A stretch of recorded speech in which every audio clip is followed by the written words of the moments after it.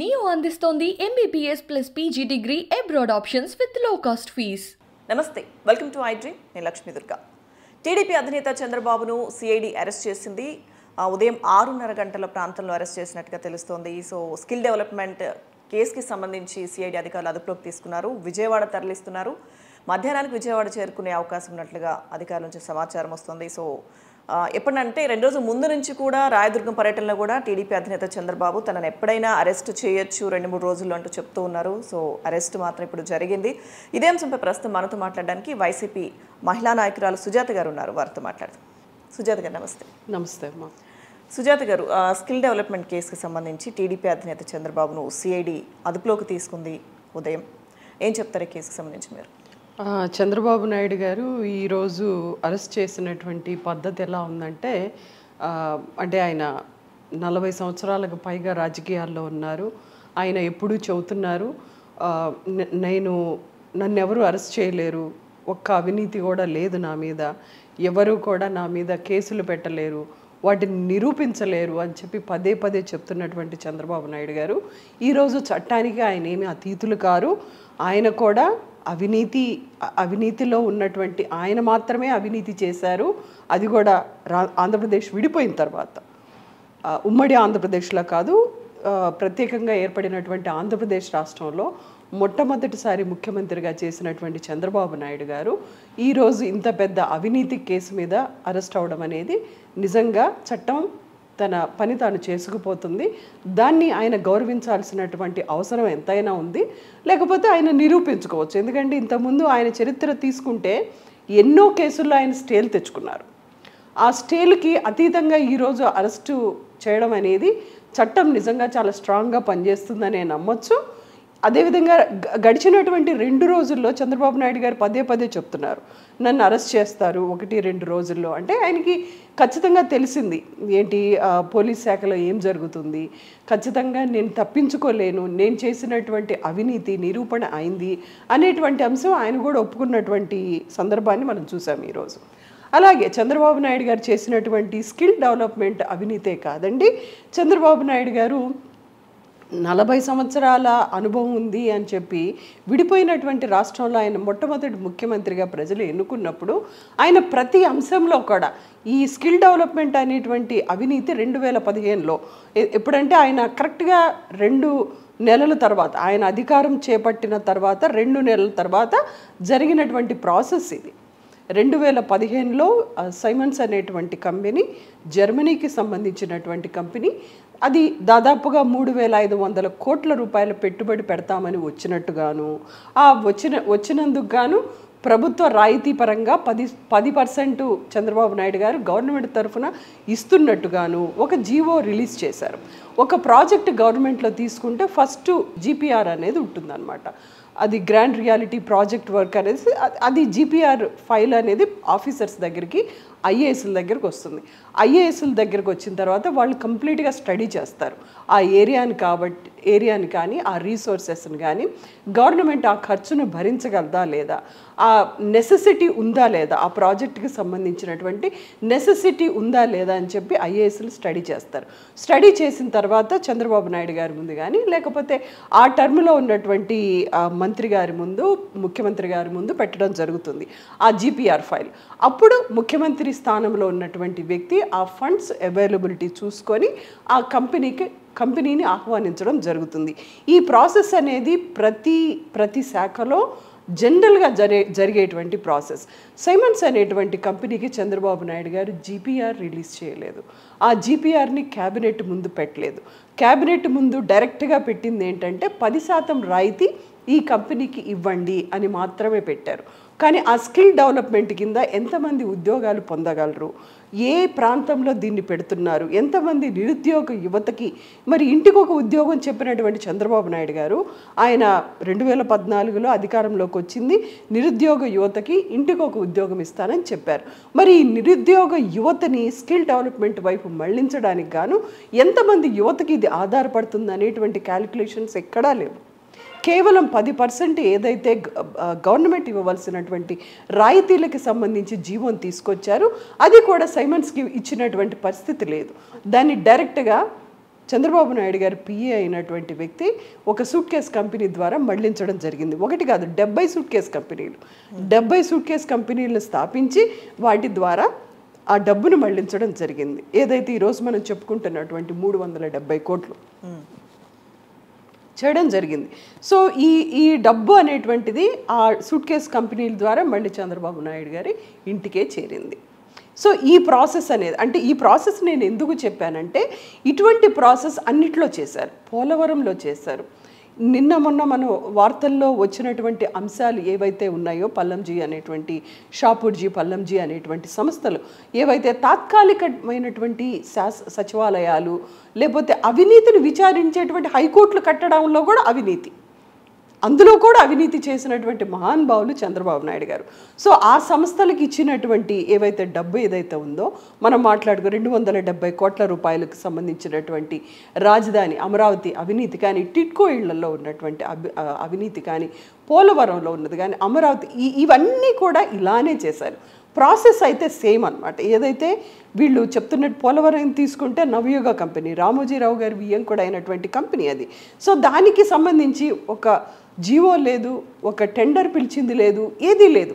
దానికి అసలు టెండర్ కూడా పిలవకుండా ఆ నవయుగ కంపెనీకి పోలవరం జాతీయ ప్రాజెక్టుని అప్పజెప్పటం. అప్పచెప్పి వాళ్ళకి గవర్నమెంట్ నుంచి ఫండ్స్ రిలీజ్ చేయటం. ఆ ఫండ్స్కి సంబంధించినటువంటి వర్క్ ఏముంది? దానికి సంబంధించినటువంటి జీపీఆర్ రిలీజ్ చేయకపోవటం. ఇది ఒక అంశం. అలానే అమరావతిలో కట్టినటువంటి తాత్కాలిక కట్టడాలు కానీ హైకోర్టు కానీ ఆ హైకోర్టు హైకోర్టు కట్టడంలో కూడా అలానే జరిగింది. సో ఈ సంస్థలకు ఇవ్వడం దానికి ఇచ్చినందుకు గాను కట్టించినందుకు గాను ప్రభుత్వం తరఫున రాయితీలను ప్రకటించడం ఆ రాయితీలు మళ్ళీ చంద్రబాబు నాయుడు గారి ఇంట్లోకి చేరటం. ఈ టిట్కో ఇళ్ళ అంశం కూడా అలానే జరిగింది. సో ఈ ప్రాసెస్ ఒక డిజైన్ చేసుకున్నారు ఆయన. ఆయన అధికారంలోకి రాగానే ప్రభుత్వాన్ని కానీ ప్రజల సొమ్ముని కానీ ఎలా దోచుకోవాలి అనేటువంటిది చాలా క్లియర్గా ఉంది ఆయనకి. సో ఈ క్లియర్ కట్తో ఏవైతే మేజర్ ప్రాజెక్ట్స్ రాజధాని నిర్మాణం పోలవరం టిట్కో ఇళ్ళు అదేవిధంగా తాత్కాలికమైనటువంటి కట్టడాలు స్కిల్ డెవలప్మెంట్. సో వీటన్నిటిలో ఫైబర్ నెట్ ఇంకా నేను చెప్పడం మర్చిపోయాను. ఫైబర్ నెట్లో కూడా ఇటువంటి స్కామే జరిగింది. రేపో మాపు లోకేష్ గారు కూడా బయటకు వస్తారు. ఆయన చేసిన అవినీతి కూడా నిరూపణ అవడం జరుగుతుంది. సుజాత గారు అయితే ఏదైతే అరెస్ట్ చేసిన పద్ధతి సమర్థనీయం కాదు అంటూ కొంతమంది రెస్పాండ్ అవుతున్నారు. వెళ్ళారు నోటీసులు ఇచ్చారు వైద్య పరీక్షలు చేయించారు అదుపులోకి తీసుకున్నారు. సో దీనికి సంబంధించి కూడా ఏపీ బీజేపీ అధ్యక్షులు పురంధేశ్వరి కూడా మాట్లాడారు. ఈ తరహా అరెస్ట్ సమర్థనీయం కాదు అని వ్యాఖ్యానించారు. అలాగే బాలకృష్ణ రెస్పాండ్ అయ్యారు. అంటే చంద్రబాబు చెప్పడం కూడా ఎఫ్ఐఆర్లో తన రోల్ ఏంటో చెప్పకుండా అదుపులోకి తీసుకున్నారు. ఐటీ శాఖ ఇన్కమ్ ట్యాక్స్ అనేటువంటిది అది రాష్ట్రానికి సంబంధించింది కాదు అది దేశానికి సంబంధించింది. సో ఐటీ శాఖ ఏం చెప్పింది? ఐటీ శాఖ మీరు ఈ డబ్బుకి సంబంధించినటువంటి లెక్కలు చెప్పండి అని అడుగుతుంది. చెప్పలేనప్పుడు ఆ నిందితుడు చెప్పలేనప్పుడు ఎన్ఫోర్మెంట్ ఎన్ఫోర్స్మెంట్ డైరెక్టరీకి పంపిస్తుంది ఈడీకి పంపిస్తుంది. సో ఆ ఈడీ చూస్తుంది. జీవోలు కానీ ఆ గవర్నమెంట్లో జరిగినటువంటి ప్రొసీజర్ కానీ చూస్తుంది. ఆ ప్రొసీజర్ని చూసినప్పుడు వాళ్ళు ఆన్సరబుల్గా లేనప్పుడు ఆ ఆన్సర్ గవర్నమెంట్ తరఫున అకౌంటబుల్గా లేనప్పుడు ఖచ్చితంగా వాళ్ళకి ఎటువంటి అరెస్ట్ అయినా అర్ధరాత్రి చేయొచ్చు. బెడ్రూమ్లో ఉన్నప్పుడు చేయొచ్చు భోజనం చేస్తున్నప్పుడు చేయొచ్చు ఎప్పుడైనా చేయొచ్చు. అలాంటి రైట్స్ వాళ్ళకు ఉంటాయి చట్టంలో వాళ్ళు ఎలా అరెస్ట్ చేస్తారనేది అవి ఎవరి పరిధిలోనూ లేదు. వ్యక్తిగతంగా మీ పరిధిలోనూ లేదు నా పరిధిలోనూ లేదు. అలానే పురంధరేశ్వరి గారు ఆవిడ కేంద్ర మంత్రిగా చేశారు. మరి ఆవిడ ఈ రోజు ఇలా మాట్లాడుతున్నారంటే పాపం బంధుప్రీతితోటి ఆవిడ ఆవిడ బాధపడుతున్నట్లున్నారు.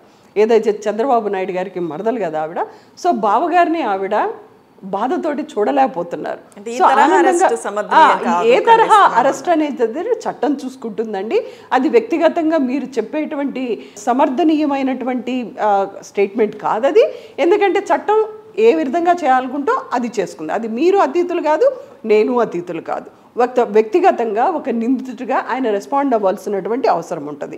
అలాగే బాలకృష్ణ గారు బాలకృష్ణ గారు కూడా ఆయన బంధుప్రీతితోటే పాపం ఈరోజు మాట్లాడుతున్నట్లుగా కనిపిస్తుంది.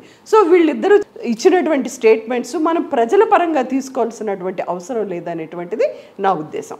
ఓకే. అంటే ప్రజా సమస్యలను ఎత్తి చూపుతున్నందుకే ఇటువంటి చర్యలకు పాల్పడుతున్నారు అరెస్టు దుర్మార్గం అంటూ కూడా. అంటే తన ఆరోగ్య పరిస్థితిని దృష్టిలో పెట్టుకొని కూడా కొన్ని చెప్పినా కానీ పోలీసులు పట్టించుకోలేదన్న ఒక వాదన. ఎక్కడికక్కడ టీడీపీ నేతల హౌస్ అరెస్ట్లు కూడా కంటిన్యూ అవుతూ ఉన్నాయి. అంటే ఇప్పుడు చంద్రబాబు నాయుడు గారి మీద చాలా భక్తిభావం ఉన్నటువంటి టీడీపీ క్యాడర్ కానీ లేకపోతే బంధుమిత్రులు కానీ వాళ్ళు బాధపడుతుండొచ్చండి. ఎందుకంటే చంద్రబాబు నాయుడు గారు నలభై సంవత్సరాల రాజకీయ చరిత్రలో ఆయన ఒక రాజకీయ నాయకుడిగా ఎంత క్రెడిబిలిటీ ఉందనేది చాలాసార్లు చూసాం. మన కేసీఆర్ గారు ఎంత తారీఫ్ ఇస్తారో చంద్రబాబు నాయుడు గారికి చూసాము ఎంత ఆయన కోర్టును అడ్డం పెట్టుకొని ఏ రకంగా అయితే ఓటుకు నోటు కేసులో మరి రాష్ట్ర ప్రయోజనాలు ఇక్కడ దాదాపు పది సంవత్సరాలుగా ఆంధ్రప్రదేశ్ ప్రజలకు కానీ ఆంధ్రప్రదేశ్ రాష్ట్రానికి కానీ రాజధానిగా ఉండేటువంటి హక్కును వదులుకొని ఈరోజు కేవలం ఓటుకు నోటు కేసులో పరిగెత్తి ఈరోజు కట్టుబట్టలతోటి నేను పారిపోతున్నాను అని చెప్పారు చంద్రబాబు నాయుడు గారు. ఆయన కట్టుబట్టలతోటి ఆయన కుటుంబం ఆయన ఆదాయమే తప్పితే ఆంధ్ర రాష్ట్ర ప్రజలకి ఏం జరుగుతుంది అనేది ఏమాత్రం స్పృహ లేదండి ఆయనకి. బాధ్యతాయుతమైనటువంటి ముఖ్యమంత్రి కాదు ఆయన చంద్రబాబు నాయుడు గారు. ఈరోజు కేవలం ఆయన డబ్బు కోసము ఆయన కుటుంబం కోసం మాత్రమే ఆయన అధికారంలోకి వస్తారు. ఆ రకంగా ప్రజల సొమ్ముని దోచుకుంటారు ఆయన. ప్రజలకి మంచి చేయమని ఓటేస్తారు. ప్రజలకి ఏదైతే అవసరాలు ఉన్నాయో ప్రజలకి ఒక ఒక లీడర్గా నిలబడి ముఖ్యమంత్రిగా ముందుకు నడిపించమని ఓటేస్తారు. కానీ మీరు అధికారంలోకి వచ్చి రెండు నెలలు స్టార్ట్ చేసిన దగ్గర నుంచి కూడా మీరు దోచుకోవటం ఒక కౌంటర్లు పెట్టి ఏవైతే పెద్ద పెద్ద ప్రాజెక్ట్స్ పెట్టి ఆ పెద్ద పెద్ద ప్రాజెక్ట్స్ మీ అయిన వాళ్ళకి ఇచ్చుకుంటూ వాటికి సూట్ కేస్ కంపెనీలు షెల్ కంపెనీలు క్రియేట్ చేసి అవి మళ్ళీ మీ పిఏ ద్వారా మీ ఇంట్లోకే చేరేటట్లు ఈ దోచుకునేటువంటి పార్టీగా తయారైంది ఈరోజు తెలుగుదేశం పార్టీ. తెలుగుదేశం దోచుకునే పార్టీ. ఈరోజు చంద్రబాబు నాయుడు గారి వెనుక ఉన్నటువంటి పిఏలు కానీ ఎవరైతే ఎంవిపి అనేటువంటి మనోజ్ పార్థసాని అనేటువంటి వ్యక్తి కానీ వీళ్ళందరూ ఎప్పుడో దేశం దాటి వెళ్ళిపోయారు. ఎందుకు వీళ్ళందరూ దేశం దాటి వెళ్ళిపోయారు? దేశంలోనే ఉండొచ్చు కదా ఆంధ్రప్రదేశ్లోనే ఉండి సమాధానం చెప్పాలి కదా వీళ్ళందరూ ఎక్కడున్నారు ఈరోజు? అంటే దొంగలన్నీ పారిపోయి అధికారం పోగానే దొంగలందరూ పారిపోండి అని చెప్తుందా టీడీపీ పార్టీ? ఈరోజు ఎదుర్కోండి మీరు చట్టాల్ని కోర్టులు విచారణ ఎదుర్కోండి ఎదుర్కొని మీరు పునీతులుగా బయటికి రండి. మీ నిరూపణలు మీరు కోర్టుల్లో వినిపించండి మీ వాదనలు. నిరూపించుకొని మీరు బయటికి రండి. దాన్ని ఎవరు కాదంటారు? ఈరోజు టీడీపీ పార్టీ కార్యకర్తలు హౌస్ అరెస్ట్ చేస్తారంటే చట్టం ఏదైతే వైలేషన్ అనేది ఎవరు కూడా సహించరు. కాబట్టి పోలీసులు వాళ్ళు తీసుకునే చర్యలు వాళ్ళు తీసుకుంటారు. దాన్ని ఇదే ఎవరు గంటా శ్రీనివాసరావు అలాగే ఆయన కొడుకు రవితేజన్ కూడా అరెస్ట్ చేశారు అధికారులు. సో అంటే చంద్రబాబు స్పందించారు అలాగే కొంతమంది టీడీపీ నేతలు కూడా స్పందించారు అక్రమ అరెస్టులు దుర్మార్గం అంటూ కూడా. వైసీపీ నేత సజ్జలు కూడా దీనిపై మాట్లాడారు. దీన్ని అంటే కక్షపూరిత చర్యగా చిత్రీకరించాలని చూస్తున్నారు. అన్ని ఆధారాలతోనే సిఐడి అరెస్ట్ చేసిందని సజ్జలు కూడా చెప్పారు. సిఐడి కూడా ప్రెస్ మీట్ పెట్టింది. సో ముందు ముందు ఇంకా ఏం జరిగే అవకాశాలు ఉన్నాయంటే? మీరు ఇప్పుడు చెప్పారు చాలా స్కామ్లు ఉన్నాయి. ఇంక ఇది ఒకటే కాదు అని చెప్పి ఏం జరిగే అవకాశాలు ఉన్నాయంట? ఒకటండి ఈ జగన్మోహన్ రెడ్డి గారు అధికారంలోకి వచ్చిన తర్వాత జగన్మోహన్ రెడ్డి గారు ఎన్నోసార్లు అసెంబ్లీలో చెప్పారు. టీడీపీ పార్టీ అవినీతిమయం. చంద్రబాబు నాయుడు గారు దోచుకున్నారు.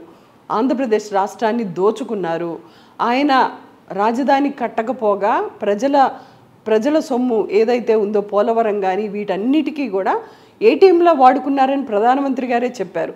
సో వాటన్నిటికీ తీస్తే మాకు తెలిసిపోయింది. ప్రధాన ప్రధా ముఖ్యమంత్రి జగన్మోహన్ రెడ్డి గారికి కానీ అసెంబ్లీలో ఉన్నటువంటి ఎమ్మెల్యేలకి మినిస్టర్లకు కానీ ఏ రకంగా వీళ్ళు అవినీతిని ప్రోత్సహించారు అవినీతి పరంగా ఎన్ని కోట్లు వెనకేసుకున్నారు అనేది తెలిసిపోయింది. గవర్నమెంట్లో జీవోలు కానీ లేకపోతే చేసినటువంటి రీఫార్మ్స్ కానీ అది ఎక్కడా ప్రజలకి లాభం చేకూర్చింది లేదు. డబ్బులు మాత్రం పోయినాయి. ప్రజాసొమ్ము మాత్రం పోయింది. ఎవరు తినేశారు? ఎవరు తినేశారంటే టీడీపీ పార్టీ తినేసింది. ఈరోజు టీడీపీ పార్టీ ఏదైతే మీరు అడుగుతున్నటువంటి ప్రశ్న ఏదైతే ఉందో అవినీతి అనేటువంటిది చంద్రబాబు నాయుడు గారు అవినీతి కేసులు ఎదుర్కోవడం అనేది చట్టం పరంగా ఆయన నిరూపించుకోవాలి. ఆయన నిరూపించుకొని బయటికి రావాలి కానీ ఈరోజు వ్యక్తిగతంగా జగన్మోహన్ రెడ్డి గారి మీద ఆరోపణలు చేయటం కాదు. జగన్మోహన్ రెడ్డి గారి పార్టీ మీద ఆరోపణలు చేయటం కాదు. మీరు కోర్టుల్లో నిరూపించుకోండి మీరు బయటికి రండి. ఐటీ శాఖ అనే దానికి మీరు సరైనటువంటి ఆదాయానికి మీరు సరైన ప్రూఫ్ చూపించండి చూపించినప్పుడు ఐటీ శాఖ ఏమీ అందో ఎవరిని అరెస్ట్ చేయదు. ఐటీ శాఖ మిమ్మల్ని అయినా అరెస్ట్ చేస్తుంది నన్నైనా అరెస్ట్ చేస్తుంది. దానికి సంబంధించినటువంటి ప్రాపర్ డాక్యుమెంట్స్ లేకపోతే. కానీ మీరు చూపించే చూపించేటువంటివన్నీ ఫ్యాబ్రికేటెడ్. ఈ ఫ్యాబ్రికేటెడ్ బిల్స్ కానీ ఈ ఫ్యాబ్రికేటెడ్ డాక్యుమెంట్స్ కానీ ఐటీ శాఖకు తెలిసిపోతుంది. వాళ్ళు చేసినటువంటి ఆరోపణలు మీరు నిరూపించుకొని బయటికి రండి. ఇక్కడ వ్యక్తిగతమైనటువంటి కక్షలకి ఏమాత్రం తావులేదండి ఎప్పుడైతే జగన్మోహన్ రెడ్డి గారు అధికారంలోకి వచ్చిన తర్వాత చెప్పారు మీరు కేసులను ఎదుర్కొంటారు. మీరు అవినీతి మేము ప్రజల ముందు పెడతామని చెప్పారు. అప్పటి నుంచి చంద్రబాబు నాయుడు గారు చెప్పినటువంటి ఆరోపణలు ఏంటంటే మీరు దమ్ముంటే నిరూపించండి. నన్నెవ్వరూ ఏమీ చేయలేరు. నేను చ- చట్టానికి అతీతుణ్ణి. నన్నెవ్వరూ అరెస్ట్ చేయలేరు. ఈ రకమైనటువంటి డంబికాలు పోయి డాంబికాలు పోయినటువంటి చంద్రబాబు నాయుడు గారు ఈరోజు అరెస్ట్ చేసేపాటికి మళ్ళీ వ్యక్తిగతమైనటువంటి కక్ష అంటున్నారు. ఏ రకంగా అంటున్నారు దీన్ని? అరెస్ట్ చేయండి. నన్ను చేతనైతే అరెస్ట్ చేయండి అని ఎన్నోసార్లు అన్నారు. టీడీపీ కార్యకర్తలు కానీ చంద్రబాబు నాయుడు గారు కానీ నన్ను ఎవ్వరూ ఏమీ చేయలేరు అన్నారు ఎలా అంటారు అలా? ఈరోజు నిరూపించండి. పోలవరంలో కానీ టిట్కో ఇళ్ళలో కానీ ఫైబర్ నెట్లో కానీ దాదాపు ఎనిమిది వేల కోట్ల రూపాయలకి సంబంధించినటువంటి అవినీతి జరిగింది. దాన్ని ఖచ్చితంగా ప్రజల ముందు పెడతాము. ఏ రకంగా ప్రజా సొమ్ముకి ప్రజా సొమ్ముని ఆయన ఆయన ఇంటికి ఎలా మళ్ళించాడో ప్రజల ముందు పెట్టి చూపిస్తాం వైసీపీ పార్టీ. ఓకే. సో ఇప్పుడు ఏదైతే అరెస్ట్కి సంబంధించి కూడా ఒకవేళ వాళ్ళ తప్పు చేయకపోతే నిరూపించుకోవాలంటారు. తప్పు చేయకపోతే ఖచ్చితంగా నిరూపించుకోండి. ఆయన ఎన్నోసార్లు అన్నారు కదా చట్టానికి ఎవరు అతీతులు గారు?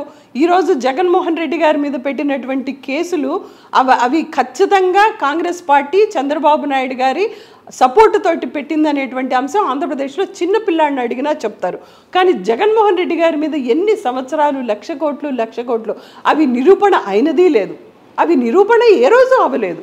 కానీ నిరూపణ అవనటువంటి కేసులు రాజకీయంగా మీరు వాడుకోవడానికి లక్ష కోట్లు అని ఏ రకంగా జగన్మోహన్ రెడ్డి గారి మీద లేని కేసులు మీరు నిరూప నిరూపించలేక అవి కూడా అవి కూడా ఏవైతే తేలిపోయి లైక్ లైక్ అవి నిరూపణ కాలేక ఈరోజు జగన్మోహన్ రెడ్డి గారి మీద ఉన్న ఉన్నటువంటి కేసులు వీగిపోతున్నాయి. కానీ జగన్ జగన్మోహన్ రెడ్డి గారి మీద ఒక అవినీతి ఆరోపణలు మీరు ఎలా చేశారు? మీరు ఈరోజు క్లియర్గా మేము ప్రూఫ్స్ పెట్టాము. ప్రజల ముందు పెట్టాము ఈరోజు. ఐటీ శాఖ పెట్టింది. మేం కాదు. ఐటీ శాఖ కేంద్ర ప్రభుత్వ ఆధ్వర్యంలో నడుస్తుంది. అది రాష్ట్ర ప్రభుత్వ ఆధ్వర్యంలో నడవదు. ఈరోజు వాటికి మీరు సమాధానం చెప్పండి. మీరు చెప్తున్నారు కదా బీజేపీ పార్టీతో అలయన్స్లో ఉన్నారు అప్పుడు. మీరు పవన్ కళ్యాణ్ తోటి అలయన్స్ తోటి ఉన్నారు అప్పుడు. మీరు కేంద్ర ప్రభుత్వ సంస్థలు అవి కేంద్ర ప్రభుత్వానికి మీరు సమాధానం చెప్పండి. ఓకే. రైట్ సుజాత గారు థ్యాంక్ యూ సో మచ్